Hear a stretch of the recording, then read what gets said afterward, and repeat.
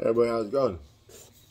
Just, uh, you know, world changed a whole bunch, and also just like uh, good food and good eating. So, thinking about um, different things that I've done before and what I could expand my knowledge on. I was kind of thinking about going down the road of uh, expanding my knowledge in things, uh, you know,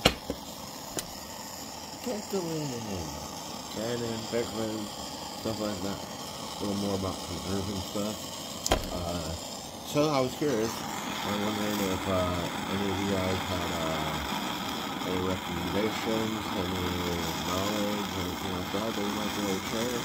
Any uh, twists, anything unique that you might have uh, before. One thing that I know that I tried one time that I thought was really unique, uh, pickle, was I knew couple, they were from uh, Louisiana and uh, Humboldt Mountain up in Humboldt County. And uh, they used to pickle watermelon there. Um, thought it was very odd at, at first. Once I tried it, I realized that they were actually onto something. It's quite good. Um, flavor was light. It was nice. Uh, wonderful stuff.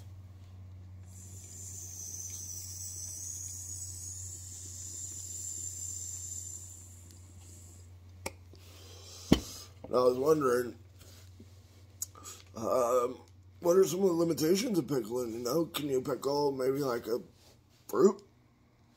I know that fermenting a fruit would make alcohol, but what would vinegar and salt do to fruit? I'm not really sure. Um, meat? That, anyways, along those lines. What about like funguses? You know, like mushrooms and stuff along those lines. Are those able to? Um, just some questions that I have. Um, other than that, kind of looking for some unique ideas. You know, I've kind of pickled the really basics and barely skimmed over the tops of pickling. Pretty much just using like fridge pickles. Short term, didn't really use pickling salt. Kind of just used vinegar and like some basic non-iodized salt and played around with that a little bit and said, I kind of know, but really, that didn't teach me much at all. So, let's expand our knowledge right now. I'm going to make some videos and I'll upload what I do and as I learn and go on this adventure together. Come on, let's go. There's some vinegar. Along with this one, which is a little more expensive at Winco uh, because it's the all natural one. One can one didn't say that, nothing like that. Probably the same thing all together, but I decided to try to use some good products overall. Uh, then, as you saw, I got this salt, and uh, you know, most important ingredient.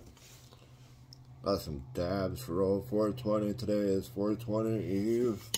And, uh, you know, you gotta keep your mind right, gotta keep that brain strong. So, smoke up, everybody. Enjoy your holidays. Be safe out there. Eat good. Enjoy your life.